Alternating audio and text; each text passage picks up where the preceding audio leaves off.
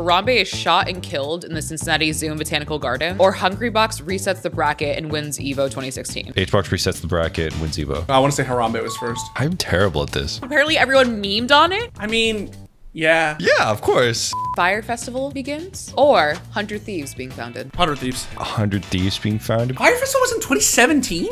The Josh Hutcherson whistle edit is uploaded, or Amazon buys Twitch for almost $1 billion. The Josh Hutcherson one, that thing's ancient. Amazon buys Twitch. Wow, that's that's actually far. Storm Area 51, They Can't Stop All of Us event takes place, or God of War reboot from Santa Monica Studios is released. Area 51? Area 51. Wow, that really felt like way before. I should have known that. Yeah.